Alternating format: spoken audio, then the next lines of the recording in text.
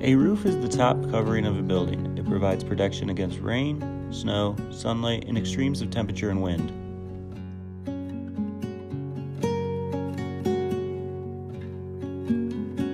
A gable roof is the classic, most commonly occurring roof shape in those parts of the world with cold or temperate climates.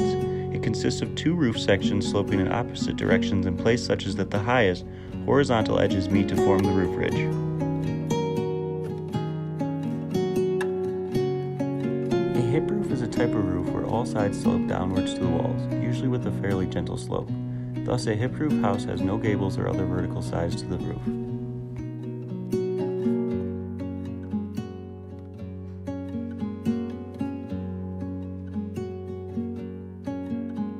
A gambrel roof is a usually symmetrical two-sided roof with two slopes on each side. The upper slope is positioned at a shallow angle, while the lower slope is steep.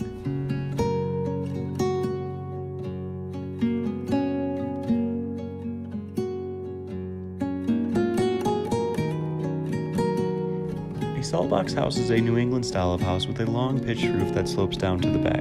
It has just one story in the back and two stories in the front. The long, low rear roof line is one of the most distinctive features. The roof takes its name from its resemblance to a wooden box in which salt was once kept. A mansard roof is a four-sided gambrel style hip roof characterized by two slopes on each of its sides with the lower slope punctured by dormer windows at a steeper angle than the upper. The steep roof with windows creates an additional floor of habitable space.